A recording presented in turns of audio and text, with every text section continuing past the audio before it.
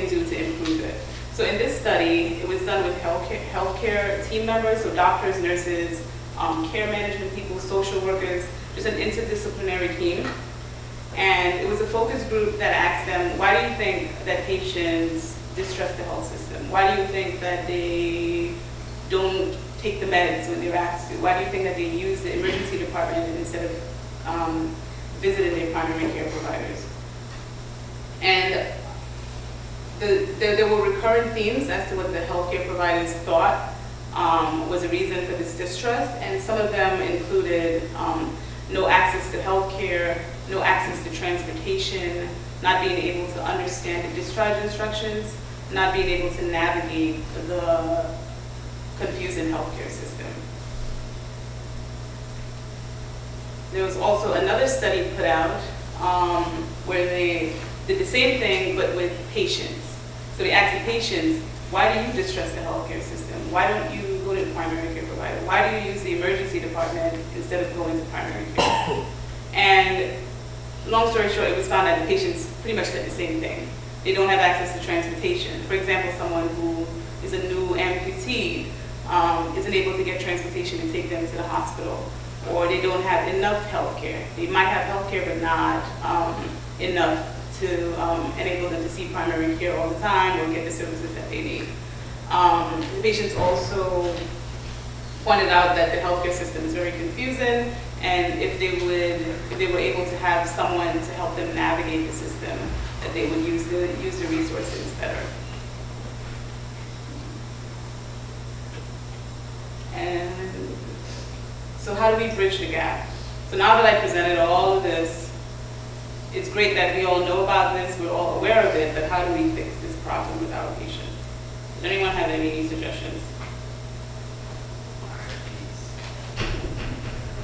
Hmm? IRBs, ins- institutional review boards. Okay, you know, physician level, you can try to, if our patients are saying that it's confusing, we can try to do better and try to explain a little bit more so they can trust us on a personal basis. right. uh, spend more money on research and, and help on instituting the, uh, or addressing the actual social determinants of health rather than just, uh, you know, waiting for someone to come in with a problem. Yes, yes. Provide, And, uh, provide, you know, resources that are aimed at community outreach and education, um, both to help health literacy, but also just to provide assistance in navigating the system, knowing how to use it. yeah, Similar to any other problem, uh, first is being aware that it exists and why. Um, Mhm. And then maybe spending a little more time at the bedside, or you know, explaining why a patient may or may not need the SET, as opposed to just telling them that they're fine. Um, And actually acknowledging what their underlying concerns may be. Mhm. Well, think just being aware of increasing representation from, uh, you know, not just in terms of African Americans, but many different groups. It's probably the most diverse residency program on the planet. mhm. I think that's something, that's something I'm always very proud of. We have individuals in this room that are going to be leaders in other programs around the country, around the world. So keeping that in mind, having representation, have individuals conducting research, uh, educating future healthcare providers, having this in mind, big Okay. So, yeah, I agree with all of you guys. So we need to take a patient-centered approach to care as opposed to a disease-centered approach. So someone has high blood pressure, instead of focusing on the disease, because we know that, for example, my mother, she's not gonna take her meds, right? She'd rather drink ginger tea for her meds. So you tell her, hey, um, yeah, ginger tea might help, so I, I recommend that you drink it, but, you know, also take your water pill every day you know? Um, you have a diabetic patient who keeps coming in in DKA or keeps coming in with high finger sticks. And then you ask them, you know, are you keeping a diabetic diet? Well, doc, you know, honestly, I, I had some jerk chicken um, last night. Well, okay, you know, next time, try having just, just a drumstick as opposed to the whole thing. You know, so just like work in with your patients, right? Um, Also recognizing that, um, um, the needs of, um, our patient population here. And, um, just understanding the culture. We have a large, Caribbean American population and, um, recognizing some of the cultural aspects of, um, the Caribbean American culture. So different behaviors, there are different behaviors that um, providers can take on to help establish rapport with their patients and in turn um, develop trust with their patients. Um, So I'm just going to go through a list of things that are available to patients in New York State that we should all be aware of. Sometimes our patients come in and they really come in with social issues. So it would be nice to know these things and to tell them where to go for help. So the immigrant population, a lot of people are scared to tell the doctor that they're immigrants. A lot of people are scared to say that they're here illegally because they feel like there's nothing available to them. Don't read this, but there's multiple things available. Um, immigrants are um, able to get emergency shelter if they need it. They're able to get um, school breakfast and lunch for free. They're able to get senior services, public transportation, Medicaid for all children under 19, and for some adults over the age of 19, depending on what the, the disease process is. And there's many other things. Um, for example, pregnant women, regardless of immigration status, are um, able to get Medicaid for um, prenatal care as well as um, hospital care. Um, we see patients who unfortunately pass away, um, and some of them don't have money to pay for the burial. So the HRA actually provides financial assistance for um, individuals who, who, in, who are in need of it. So it's not something that we would know like everything about it, but it's just something, it's just good to know that these things are available and you can refer them to social work. So for example, if you're in CCT and a patient dies and family members are, um, you know, ask you about burial stuff, you can refer them to social work and say, well, you know, um, New York State has this thing where they can help you with the expenses if, you, if you're not able to. This is called a WIC check. Um, these are checks that are given to pregnant women and breastfeeding women. Um, and they provide, like as you can see here, like tuna fish, cereal, peanut butter, milk, eggs, um, other such things that a pregnant woman needs to nourish her body and to grow a healthy fetus. Um, the state of New York also provides health bucks, um, which is like little certificates that um, patients can take to farmers markets in order to buy fruits and vegetables. So like your patients who say they can't eat healthy because they can't afford it, well, these things are available. Um, food stamps are also available. This is just a copy of what um, the Medicaid card will look like, um, and this is available to many people and they're not aware of it. So a lot of patients come to um, the ED with like these vague complaints. Oh, I have this pain in my belly, but I'm not tender, and I'm worried because my brother had colon cancer last year, my mother died of breast cancer, and they're coming to the ED for their care because they don't have health insurance, they have no other way of screening themselves. Downstate provides free cancer screening. I didn't know this. I only found out a few days ago while I was doing research. But you can refer these patients to Downstate, um, and this is the number that they can call. You can just look it up on the website if ever you need to. It is warm this January, but usually around this time it's freezing. Some people don't have heat. Some people have to resort to turning on their ovens um, to heat their homes.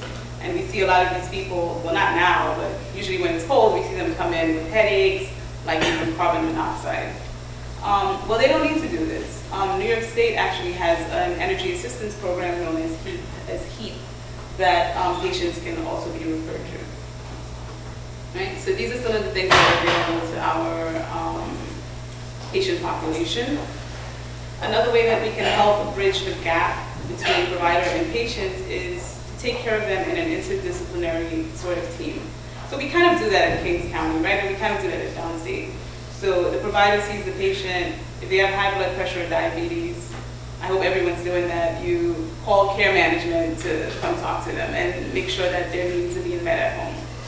Um, also, if you have any concerns about the patient needing home health care or any such services at home, you can call the social worker.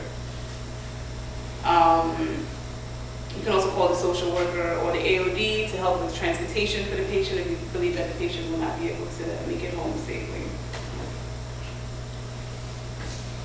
Another way to bridge the gap is to respect patients' privacy. Um, For example, trauma bay. 25-year-old male comes in gunshot wound. Um, I've noticed on multiple occasions that um, the door is left wide open, the curtain is left wide open, um, the patient's clothes are being ripped off of him, his, his entire body is naked, and there's like other patients walking around, peeking into the room to see what's going on. Um, and that really like shouldn't happen, right? Like, we, we should try to remember to respect patients' privacy, even in a trauma bay. Um, pull the curtain, um, put a sheet over them, tell them what you're doing, um, because you wouldn't want that to, happen to you if you if you got into a trauma. Another way to respect patients' privacy is to use the interpretive phones. I know it's a pain, sometimes you can't find it, sometimes it takes a while before an interpreter comes on the phone. Um, but using a patient's family member or children to interpret for them um, is kind of a violation of privacy because there might be like sexual, parts of their sexual history and other things that they don't want their family members to know that they wouldn't tell you because you're using them as, um, as an interpreter. We also need to recognize our implicit biases. So we kind of went over that in the 2016 study that shows how the healthcare providers still carry these biases even though they don't think that they do. This is another um, paper um, that was done on this topic. Um, it was released in 2015 and it was pretty much just a systematic review of about five other papers that um, that studied the exact same thing. So these were all like focus groups where they um, asked like healthcare providers about implicit biases. And the results of this study is that um, there were higher levels of implicit bias against blacks, Latinos, and um, dark-skinned people. And it also showed that because of these implicit biases, um, provider-patient interactions were negatively um, impacted, and um, treatment decisions, treatment adherence was also negatively um, impacted. So even he's going to get pain from time to time, right? So if he shows up to the emergency department, even though he looks like, you know, the typical drug seeker, you have to take what he says seriously. Because pain is something that you can't really tell. If, you can't really tell if someone is really in pain. Um, so you kind of have to listen to your patients and treat them all equally. Shared decision making is also an important way of bridging the gap between patient and provider. So instead of telling the patient, well, you have a history of high blood pressure, diabetes, you're coming in with chest pain, you're getting admitted. Okay, see you later. you can tell them, well, okay, you're 50, you have high blood pressure diabetes, you smoke, and you're coming in with pain that's concerning me for chest pain. So I know you have work tomorrow, so we can try to get two sets of cardiac enzymes and send you home, or we can keep you overnight. You know, it's up to you. Um, you know, having this discussion with the patients actually helps them feel like they're involved in their care and helps them um, develop more of a trust towards you and the healthcare system in general. And also like include the families in the decision process if the patient wants to. I know sometimes the families come barging in and they're like, yeah, can you tell me what's going on with my with my brother? And you're like, your brother's 20. I, I don't need to like but just um, remember that some patients um, value their family's opinion. So if someone comes to you and asks for medical information on a family member, you can say, okay, um, I'll come discuss it with you in front of the patient. And that way we can all have a decision together.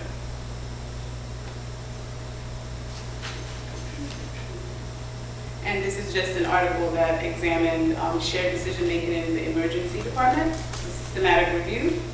And um, there was also this study, um, so it was done on five different, so the systematic review was in five different articles. Four of them were pediatrics, and one of them was adult. but the results showed that um, shared decision-making led to increased patient adherence, um, increased trust in the physician. And it also um, concluded that um, it is possible to perform shared decision-making in a busy emergency department environment. So also providing culturally relevant care.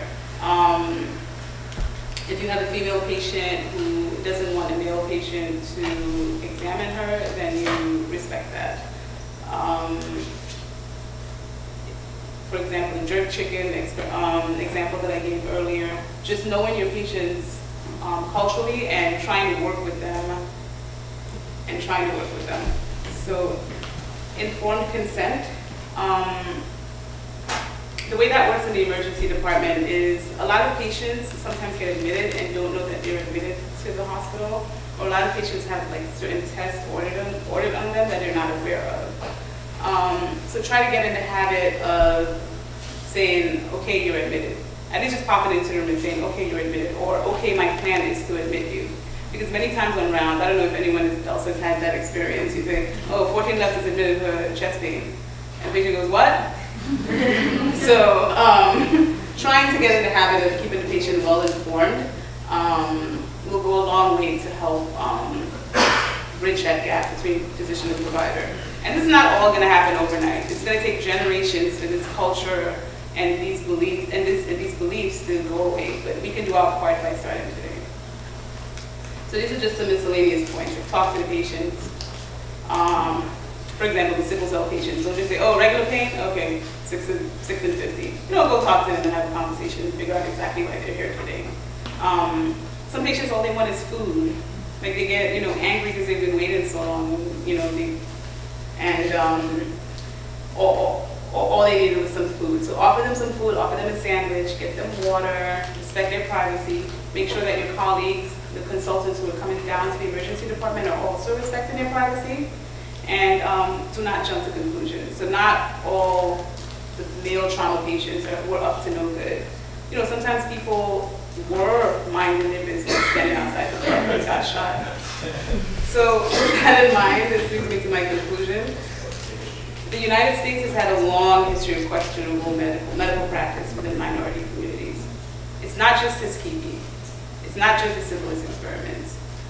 We can help alleviate this mistrust by um, providing patient-centered care, providing culturally relevant care, and practicing medicine in inter interdisciplinary teams. And just also be knowledgeable about helpful resources that might be beneficial to your patients. As my references, I'd like to thank everyone who's helped me and this is my um, presentation. And um, that's it.